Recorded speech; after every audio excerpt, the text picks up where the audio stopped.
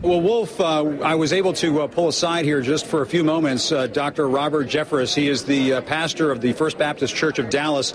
He also gave a speech introducing Governor Rick Perry earlier this afternoon. And, and if you don't mind me saying, uh, Pastor Jeffress, you created a bit of a stir coming out of that speech because uh, in talking to reporters, you said in pretty strong, plain language what you think of Mormonism. You described it as a cult. And you said that if a Republican votes for Mitt Romney, they're giving some credibility to a cult. Do you stand by that comment? Oh, absolutely. And that's not some fanatical comment. That's been the historic uh, position of evangelical Christianity. The Southern Baptist Convention, which is the largest Protestant denomination in the world, has officially labeled Mormonism as a cult.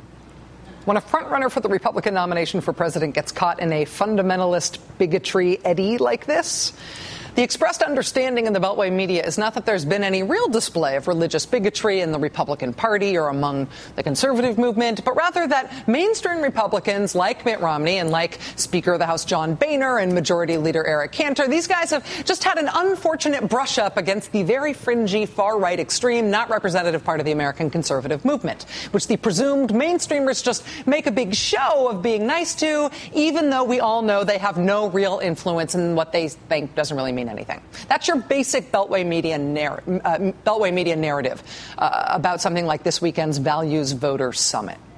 Here's what's missing from that analysis. The values voter thing is not a fringe event. If it ever was, it isn't anymore. I mean, substantively, of course, it's a fringe event. It's like the Flat Earth Society, but it's not fringe within the conservative movement and Republican Party politics. Mitt Romney has gone to the Values Voter Summit for six years in a row now. Every major Republican presidential candidate except for Jon Huntsman, is he still considered major, uh, spoke at the Values Voter Summit this weekend. And it's not just the candidates looking for votes, it's also the House Republican leadership.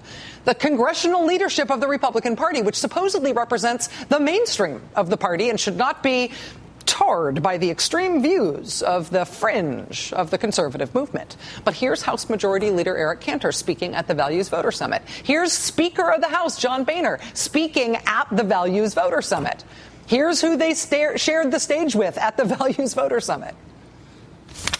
I believe we need a president who understands that just as Islam represents the greatest long range threat to our liberty, so the homosexual agenda represents the greatest immediate threat to every freedom. Woo! Woo! When all the Republican presidential candidates and the Republican congressional leadership do big national televised events like this, why is there this gentleman's understanding? Right, with the Beltway media, that Republicans who speak at these things shouldn't be seen as sharing that event's agenda. They know what they're getting into. Why do we all make excuses for them on things like this? I mean, in the weeks leading up to the number one and number two Republicans in the House speaking at this Values Voter Summit thing, look how they behaved.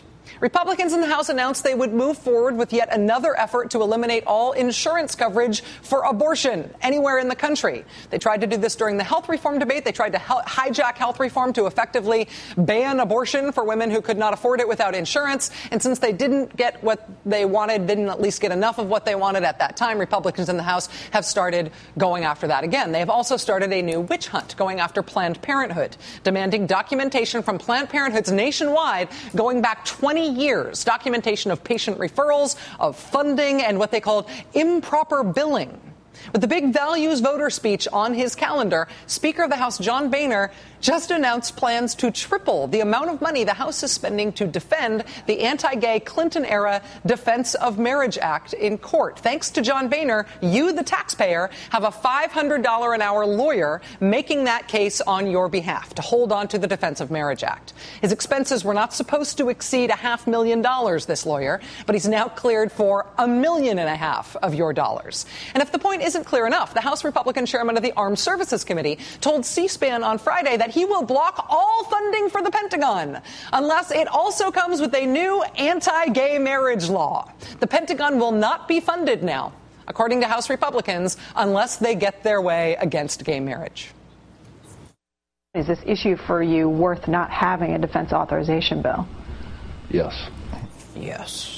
No matter how much Republicans prioritize abortion at the state level and at the federal level again and again and again, no matter how much Republicans prioritize gay rights at the state level and at the federal level again and again and again, no matter how much Republicans get their Jerry Falwell on and focus again and again on these social issues, on these rights issues, the Beltway media insists they are focused like a laser on jobs, jobs, jobs.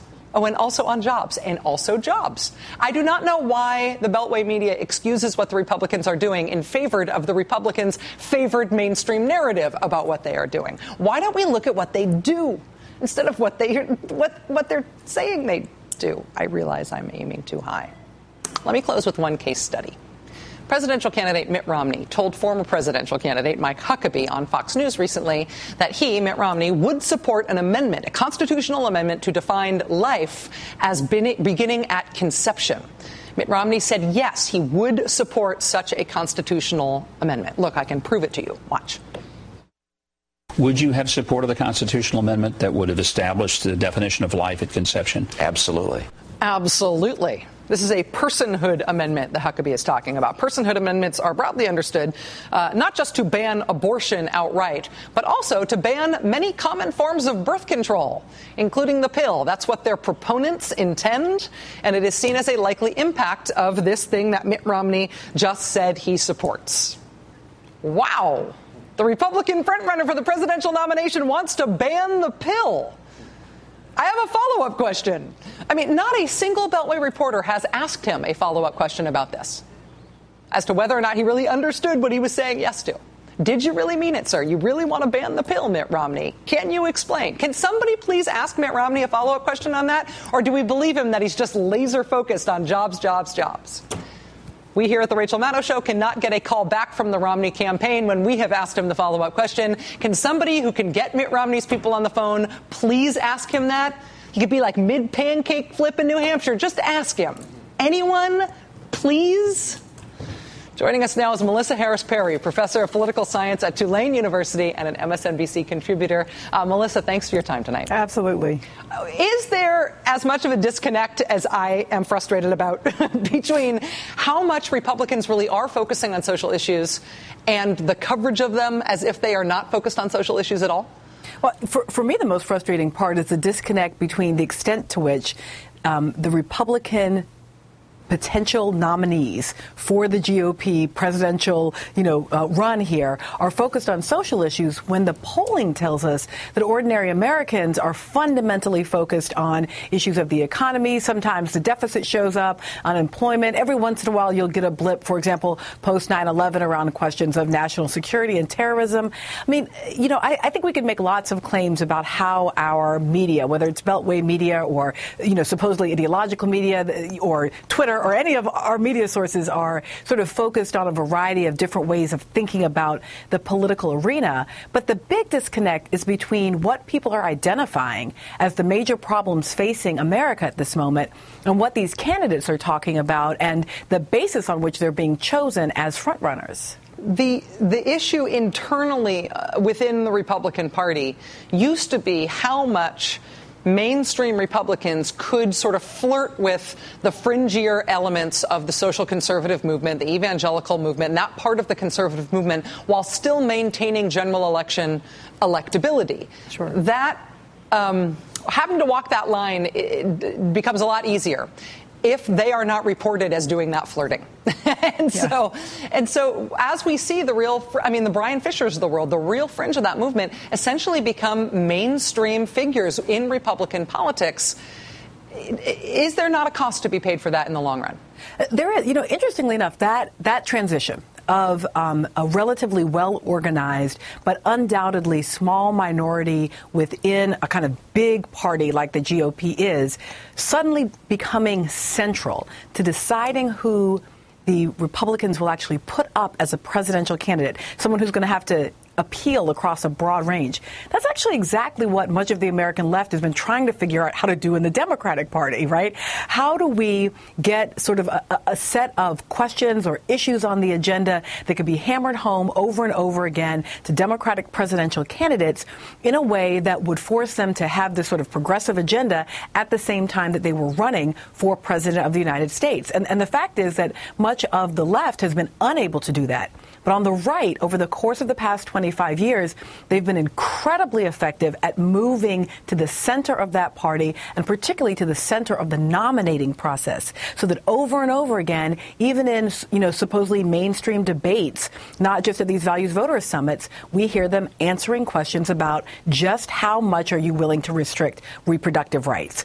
Just how, just how pro-life are you? It's no longer even a question of whether or not choice is even on, is even a possibility for a Republican candidate, for example. Melissa Harris Perry, Tulane politics professor and MSNBC contributor. Melissa, thank you for helping Thanks. us understand this. I appreciate Absolutely. it. You may remember uh, former Florida Congressman Alan Grayson from appearances like this on the floor of the House of Representatives. Here it is the Republicans' health care plan for America. Don't get sick. That's right, don't get sick. If you have insurance, don't get sick. If you don't have insurance, don't get sick. If you're sick, don't get sick. Just don't get sick. Alan Grayson is not Congressman Alan Grayson anymore, but his words about the Occupy Wall Street protests have been clear and pointed, and from what I hear from a lot of people, motivating. Alan Grayson is our guest tonight on the subject of the growing movement and the right wing's tin ear for it. Stay tuned.